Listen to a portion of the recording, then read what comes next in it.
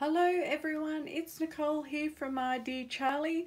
First and foremost, I would like to wish everybody a very Merry Christmas. It is late afternoon here in Australia, about 5 p.m. I believe. Haven't got a clock on me. Um, and as a family, we're done and dusted for the day, so I thought I'd sneak out into my craft room and just share with you a package that I received yesterday, Christmas Eve, from the lovely Lorna at Taylor Made Journals. I will leave a link to her shop in the comments below. Um, I ordered these awesome stamps that she makes, I think using a laser printer and they're just really really awesome. They come beautifully packaged. They came in these cute little envelopes which are going to come in really handy to use in a journal. So thanks for those Lorna. They're gorgeous. And these are the stamps. I got two sets. You get two in a set.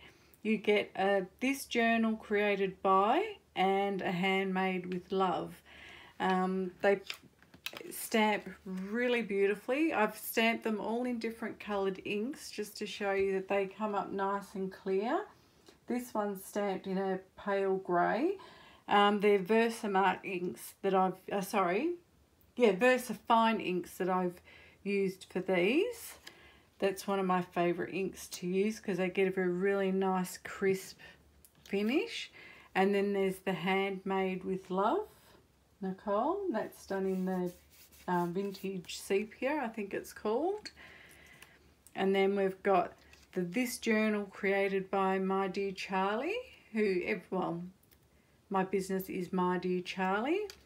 And then Handmade with Love by My Dear Charlie, I've done in gold embossing and it, oh, it just looks really, really awesome.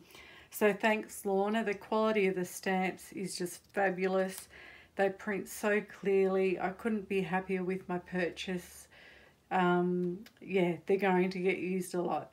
So yeah, if anyone's interested in seeing what Lorna does, she ha has some amazing journal, like printable journal kits.